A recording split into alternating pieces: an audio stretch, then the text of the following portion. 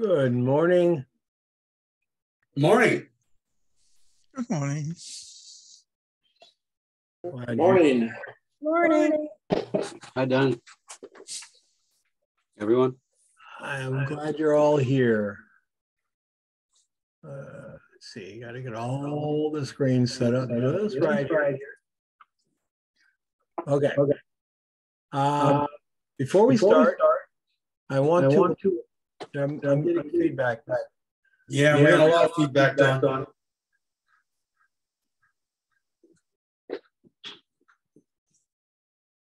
Testing, how, okay, all right. Uh, I wanted to, uh, address a uh, incident that happened on the, on the site, uh, last weekend. I was not around last weekend. Apparently there, uh, for the first time in fifteen years, I have had trolls and bullies on my site, and these are people that I thought were my friends, so. Um, I think it, I think it hurt the site. I think I watched a lot of people leave because of these two individuals, and I apologize for that. I and I would say to any of you, if that ever happens again to anybody, that's not how my forums work. I've never had that problem on my sites.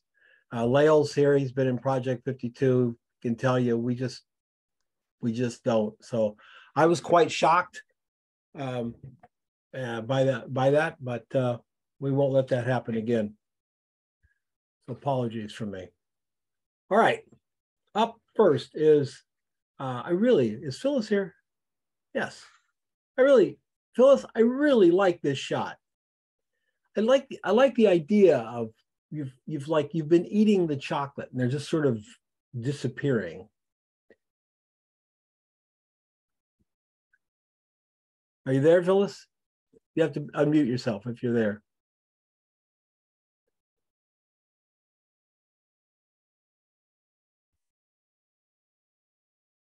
Phyllis? No? Yeah, uh, can you hear me? Yeah, now I can. Okay, sorry about that. Okay.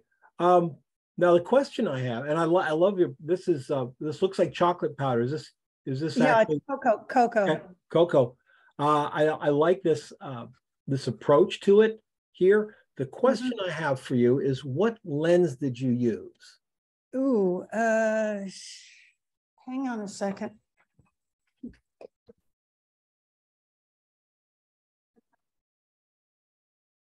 It was the eight- 18, 18 to 18 to 150. Okay, and do you remember where in that zoom range you were? Um, no, I'm sorry, I don't. Okay. See, I think you're out a little too wide. Do you see how Mhm. this is going down here? It's this, it's being pulled into the corners.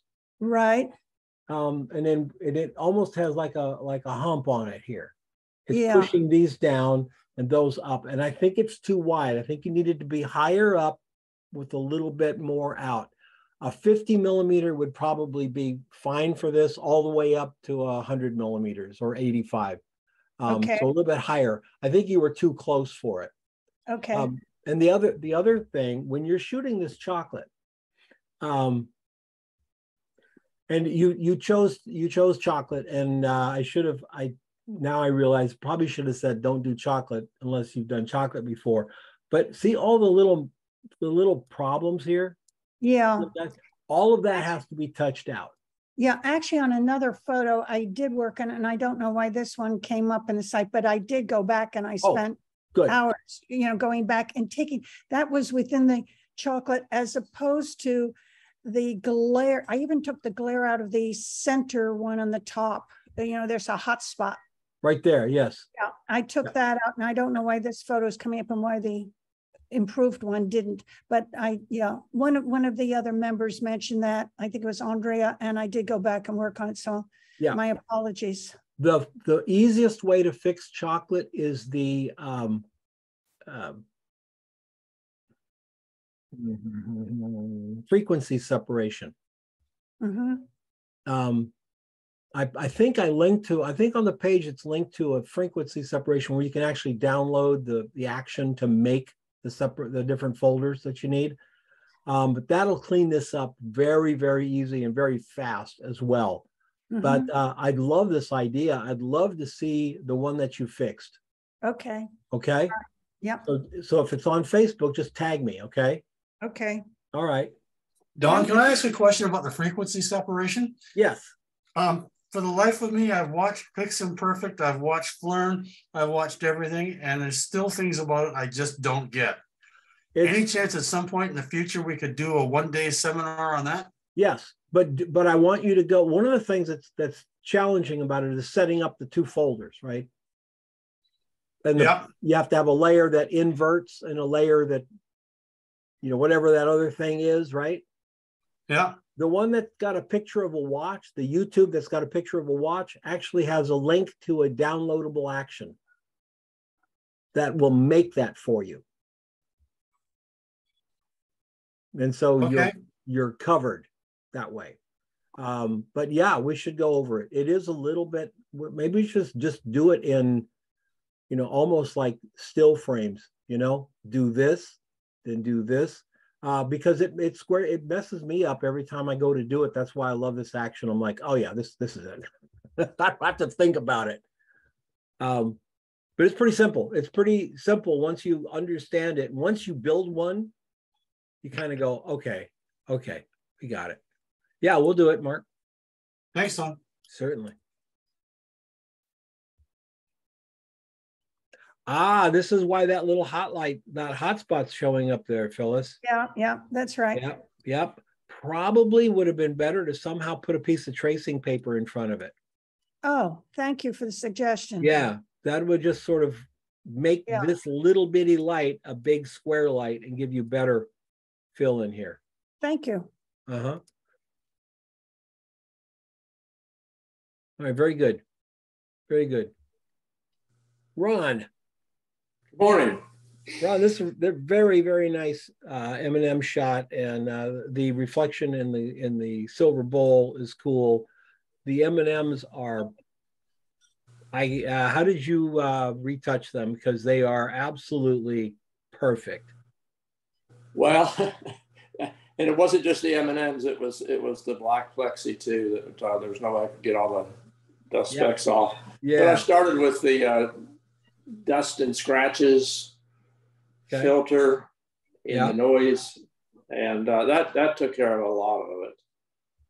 And um, and then I just uh, zoomed it to 100 percent and went around and spent you know a good bit of time, um, you know, dabbing with the um, with the um, healing healing brush, right?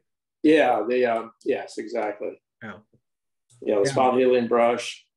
Um, and then I took it to Topaz and I rented a couple of things there, and um, and it just seemed to kind of come together. So I'm yeah, I was quite pleased. I was, I was going to ask you about that because you know usually when you use the dust and scratch filter, it kind of softens the image.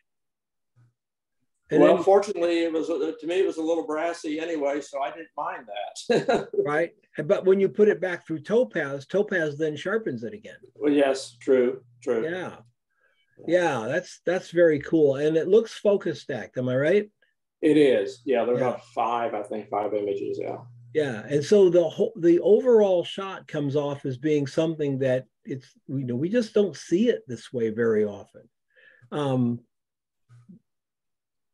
we're we're used to that shallow depth of field. We won't be five years from now. We won't. Well, our brains will be used to focus stacking. But you know, Mhm. when I first looked at it, I went, "That's focus stack." I love it because that guy's just as sharp as that guy, and all of us know. Uh, I'm going to say, is this a 50 or a 70 or where are you? In the, Um, uh, it's on. It, I have it on the um, on the behind the scenes. I I was using Zoom, but I, and I, I forgot what I was at. Um, maybe 120. Click click over to the behind the scenes and uh, uh, yeah, okay, so 120. 120 millimeters. So you're out Yeah. there quite a bit. So that's why it took five. You had you're quite a bit. Yes, yes. I could have done it in one if I was in closer, but I liked the um, the compression that the uh, Yeah, the telephoto gave. yeah. Very. That's really really nice. And that focus stacking. That's what tends to throw me when I'm trying to guess the lens. You know, I just kind of like all of a sudden it's a little bit tougher to do. I love the little reflection, the circle coming back in here. That's very cool. Well, I learned that from you. I I made sure that happened. So. And uh, we don't even have to talk about the horizon. It's a gr- really good shot, Ron. The color is vibrant as hell. Um, and uh, and again, I think this would make a hell of a big, big print. Just an astonishing big print. I think so. Yeah, I'm, I, I plan on doing that. It's um, I'm, I'm, I'm well pleased. Yeah. I mean, I, you know, I'm not a big one for the metal prints. I don't do people on metal at all. I think it's garish. But this could be one of those times when the metal print would just really just make it, a, you know, pop. Mm-hmm. Mm-hmm. Yeah, really cool. Good job. Great, thank you. I had to do it over again. I would raise that scrim up. I think I had it. Um, the the, um, the reflections on the candies were, were a little bit bigger than I would have preferred, but uh, that's actually what I like about it. Okay. Well. Yeah, it's actually what I like about it. Great big highlights. Again, that's something we don't see. It's a, the natural thing would be to see small highlights because they are small. Uh, no, it's the first thing I that I went for was big light right down on top of it. Yeah. Well, I'm fine. I love that I like, shot. I like that look. Oh, thanks. Thanks. It's a beautiful shot, Ron. Thank Yeah. you so much. Thanks. Great stuff. Fantastic. All right, Thomas. Oh, that's cool, Thomas. Yeah, I tried something very extreme, uh, black subject on black background, Yeah. and that together with a Frankenstein construction of a lens setup. Yeah. because I, I used the medium format uh, or, or um, uh, an, an, a lens from a field camera, hmm put it on a bellows device so that I could make an extreme tilt and uh, do it all in one shot. Yeah. Yeah. Yeah. Yeah. Um, is there, they make a mechanism to put your, No, I used a body cap, plastic cap, uh huh. made, made a hole in it and fixed this uh, lens to it. Half of the lens is in the bellows and half of it is on the front. wow. Cool. That's great. That's great. You can all see what he's talking about, right? You see the back plane of the camera this way, but the plane of his focus is this way, which is the same as this. That's called tilt. Or the tilt shift lenses. This is a tilt lens, homemade tilt lens. Well, not the lens, the, the apparatus to hold it. And it gives him, without focus stacking, all the way through. Um, you know, usually, uh, usually I'm not a big fan of front lighting, but this is those, this is that case where it just totally makes sense. You're popping those highlights right off that front light. This guy right here. That's very, so they look, they look like metal, but they're licorice. Yep. That's cool. Now that, that we have just discussed the photo of the M&Ms, um, I wonder if my ratio of the two light sources uh, is too extreme. No, The, the, Perfect. If this gets in, as a matter of fact, I was just gonna say, see the grays in here? Let's pull them up a little bit because when you look at the shot and you squint, you go to this hole, black hole over here. See?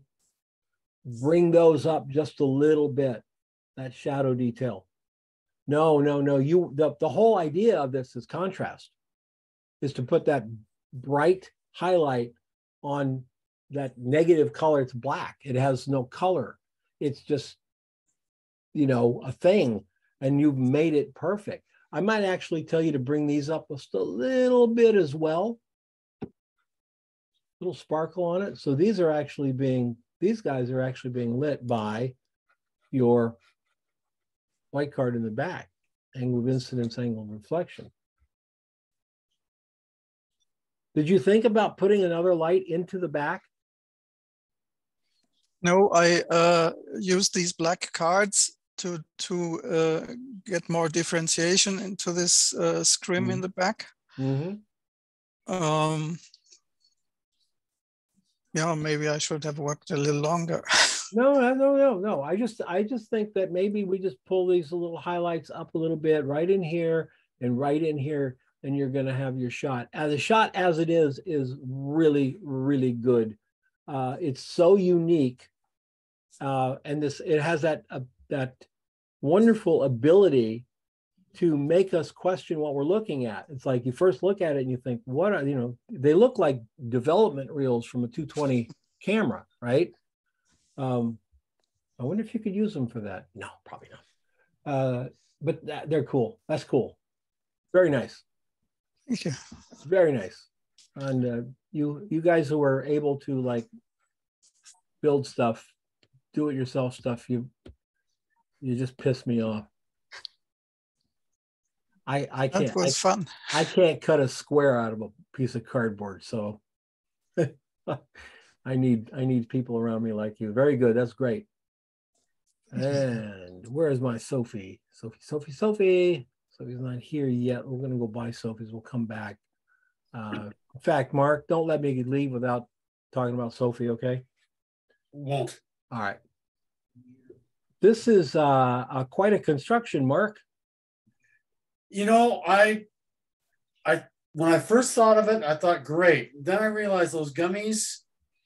Yeah. Um, I kind of struggle with it a bit, Don. Uh, the, why now? Because of the gummies? Yeah, trying to make that work. I was initially going to do something with the gummies along the line of what Ilona did, Yeah. and I wasn't happy with the composition I was getting. So I thought, okay, I bought this cauldron at the same time, and I thought, okay, let's make this work. Then I thought, let's try and get the gummies into it, and yeah, I'm kind of going, eh, I don't know. I'm with you. I don't know. It's it's kind of a jumble. Yes, Um, that's what bothers me about it. We have all the color at the bottom. Then when we get to the top, you know, a half of the top is just brown and white. Yeah. Chocolate, chocolate white. And I think we lost. I think you'd have been better off filling the cauldron with gummies. Yeah, Keep that color going. Yeah, that's what that's what it's almost like there's two photographs. Photograph Yeah. at the top and a photograph at the bottom. Yeah. fair enough. Well, Don, you know what? Right. I if I if I knew everything, I wouldn't take this class, and I was hoping that I get feedback like this. That's good. If I knew everything, I wouldn't teach it. Very well, nice. thanks, Don. I appreciate the idea because you confirmed what I was thinking. Yep. Yep. You got two shots going on there. Very good. And Marioline. Marioline's not here either. Really? Okay. Well, give her a chance to catch up here. Andrea.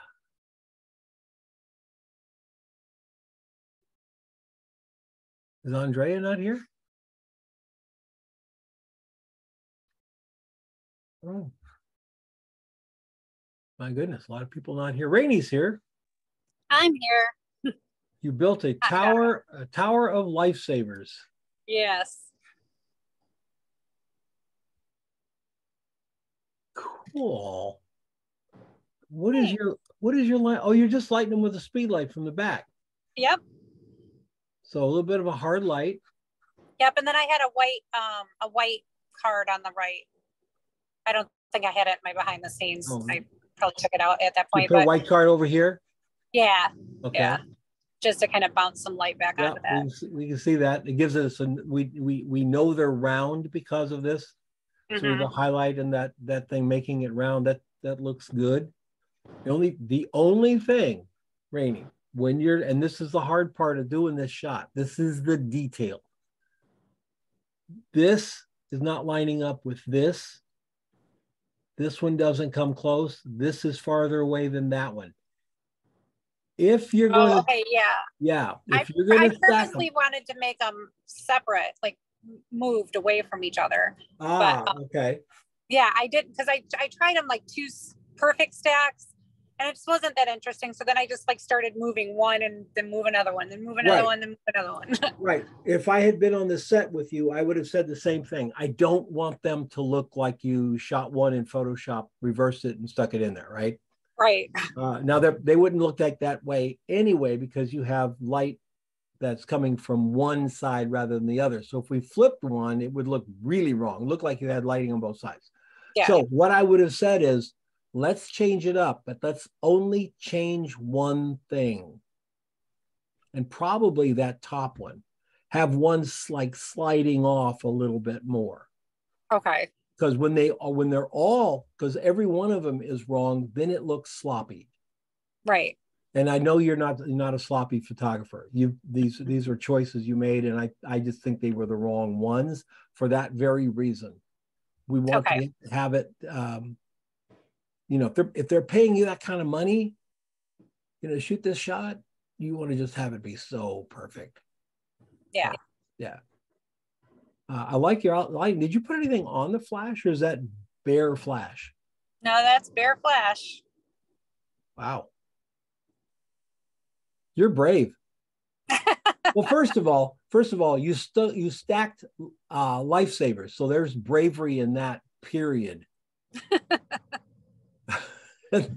and then a bare speed light. So yeah. All right, good. Good, good. Now here's the here's the thing. You got a shot going here. Yeah. Now make it now make it perfect. Just Yeah. make it Just so that Shore it up. Yep. Um, and even if you had it like they were all they're all perfectly lined up, and then you had one like it was slipping off, like a little bit of, you know, are you gluing them together? No, they're just stacked. You can use museum putty. You can use my favorite is beeswax, or you Mhm. can get dental wax that they use for braces, hmm and it's real sticky. Put a little tiny dab in there, put them together, they're not going to move. Okay. they, I mean, that you will really, really nail it with that. And I would, I would stick these, the ones on the bottom down as well, you know, so they're not going to move for you. Uh, beeswax, I don't know where to get dental, dental wax, but beeswax you can get at like Joann's or Hobby Lobby or whatever. They're not cheap, but a little tin this big will last you for 20 years. You just take it off and put it back. The reason I, I use beeswax is it doesn't leave any oil on the surface. Okay. So even if you put it on the plexi and you picked it off, you wouldn't see anything was there. Mm-hmm. All righty. Thank you. Yeah. Lael. Yes, sir. Yeah, really cool. How uh, So, now are these individually shot? Are they on wire or so I've got them on some long, uh, like, uh, shish kebab sticks.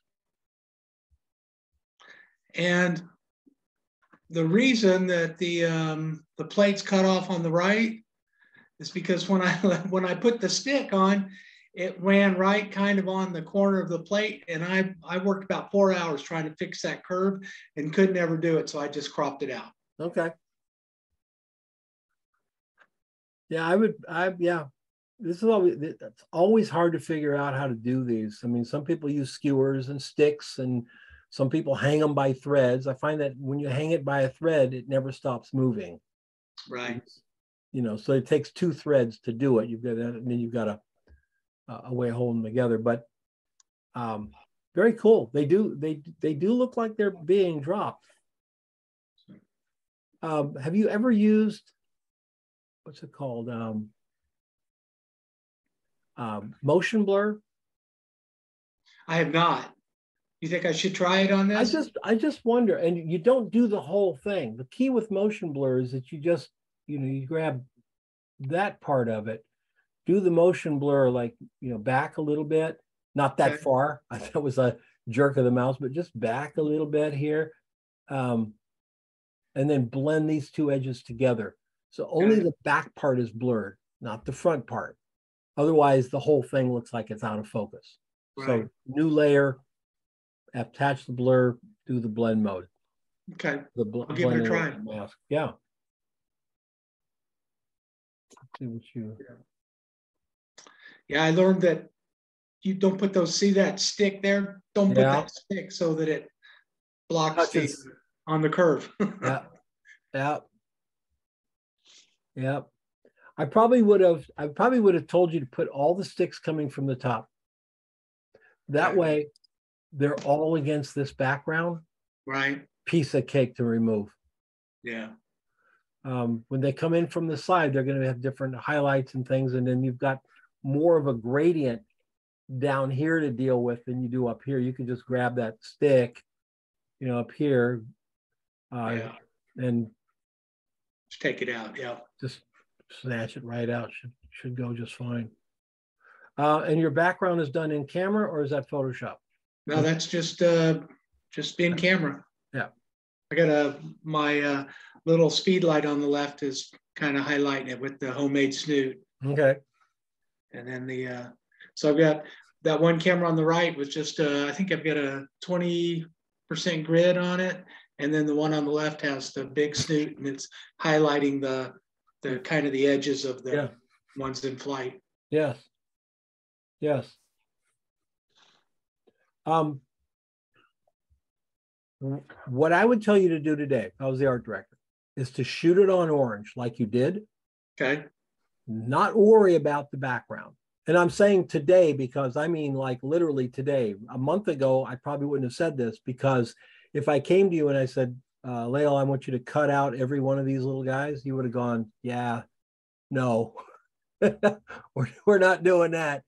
But now with the new Photoshop and Lightroom, where you just paint it and it grabs every kernel of ice or, or um, of sugar, Uh-huh. everything is perfectly masked. Then I would say, okay, let's shoot it on orange. So we've got that. Then let's move all this up to a new layer. And then we can apply the orange in the background with the spray, any way of spray we want. Right. And we could turn it to a brighter orange or a darker orange or whatever uh, uh, on our own. This kind of spray background, there's no reason these days to not just do it in Photoshop. So your client, if you're doing it for client work, your client has access to any color they want. Now, Right. if they did blue, that's not going to look right because the highlights coming back on these reflections and things going to be a little tough to pull off with the blue. Right. Um, yeah, very cool, man. Okay, well, I got some questions about the about the AI and the picking and stuff. I I shot uh, some beer this last week that I really Yeah. like, and I put the gold card behind. The gold card is actually s- showing a little bit on the left, and I can't get this thing to. I can't get the AI to pick the difference. It's too it's too similar, and so I'm having to go through and use a pen tool or the magnetic lasso to do it. You put the can you put the the gold card behind the beer? right? To so it'd go through the glass, you know, and highlight it. And so the beer and the gold card are very are almost identical. And there's not enough contrast on the edge of the glass where that card is to Oh, I see. So the card's sticking out. So you're Yeah, Oh, exactly. in that particular case, you probably pen tool it. Yeah, that's what I'm having to do. And Yeah. I'm not too good with the pen tool, so it's taking me a while. Yeah. Once you master it, you spend two hours with the pen tool. The whole thing is once you realize what the handles do, once your brain wraps around, you go, oh, you can stretch them out to get a finer curve. Once that happens, pen tool becomes your friend. Okay. Yeah, it's just we don't know why how those handles work. And at first, we grab a handle and the thing goes like this, right? Right. inverts. Yeah, you got to Exactly. pull them up straight so that they're long. The longer the leverage you have, the smaller the motion you can use to to move it. So when they're real tight, when you make them, they're real tight and they just Right. they, just scramble. Okey doke. Yeah, that sh- that should work.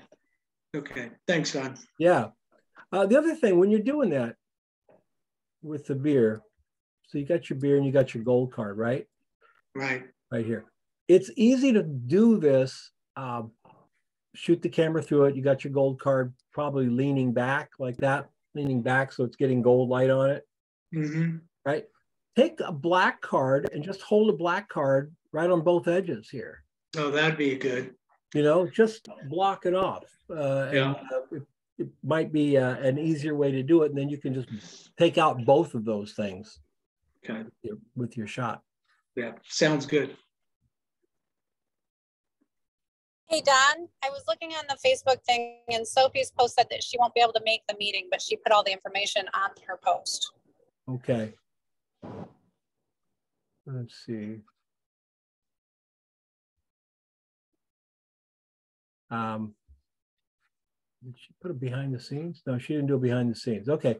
Uh, this is really pretty.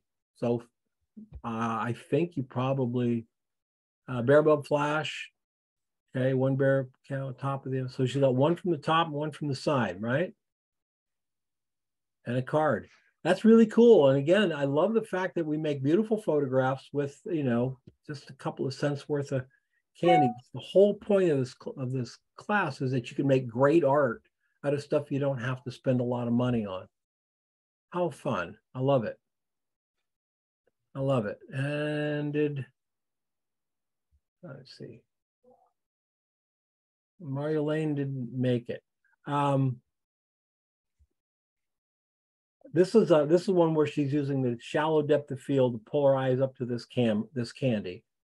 Um, I think I think Mario Lane, you've got a lot of the same tonalities, and when you look at this, the cup is tending to disappear into the back. Okay, it's this this part of the cup and that part of the back is a problem. That's why I would probably put a highlight back there. We have we have time. I'll show you what I'm talking about there. And the candies, a little highlight here. So I don't know what you're using for your light, but I think this highlight can be bigger. Bigger. Bring this box or scrim in closer so we get a bigger sized highlight here on the candy and pop it.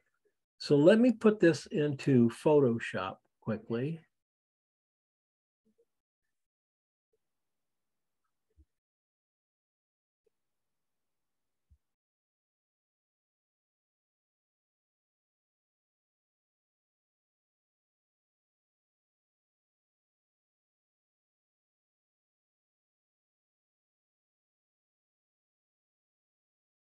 Yeah, I think, um, let me share Photoshop, sorry.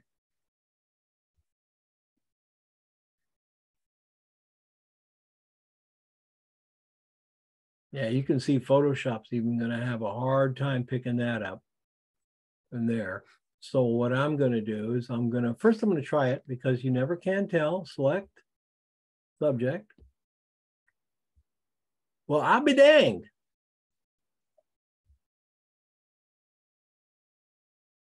I'll be danged. It, Photoshop saw it. That's a little unusual. Um, did not see this candy over here. So what I'm going to do is go. Uh, I should have done the whole thing. In, But anyway, anyway. So this is a little bit brighter. Hey, baby.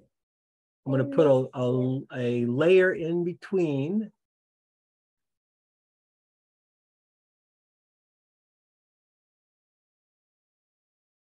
It's grandkids day. Layer in between. And then I'm going to take my brush, real soft brush at 10%, because all I'm going to do is just going to, I'm just going to make a little bit of a spray back here, okay? Uh, I'm on this layer above the background behind the layer of the cup. And I'm going to touch it once, twice, three times and the cup separates. I could go the other way. One, two, three. I could go the other way. She's okay. And darken it. But I think it looks better light than it does dark. Then on the candies themselves, new layer, new layer with the plus button, option key push down, mode to soft light. Fill is checked, fill with soft light neutral color.